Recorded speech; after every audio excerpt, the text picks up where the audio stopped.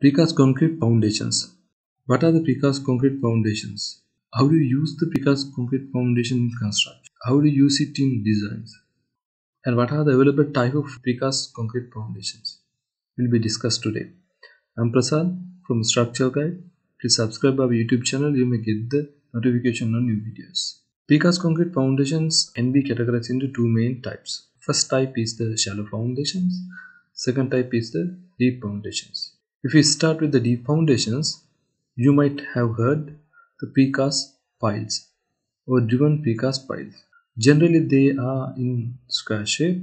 They are used to driven into the hard soil layers when the ground condition is not that good to rest the structure.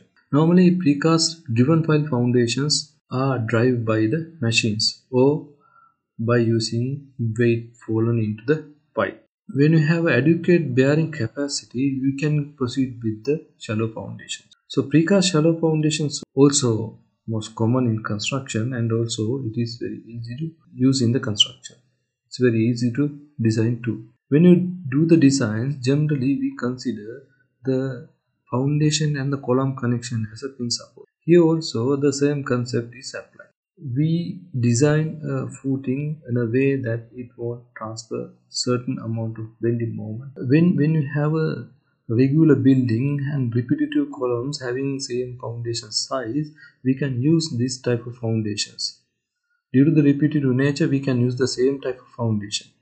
As you can see in this figure they are kind of a shallow foundation or shallow precast foundations the base is uh, rectangular in shape and the column head is there to insert the column. So the columns as you can see in this figure the columns can be casted like precast footing.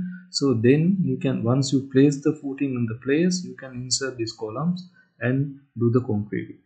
Double bars may be in different nature as you can see here you may keep the provisions for these double bars and also you may have holes in the horizontal direction also if required to put the doubles.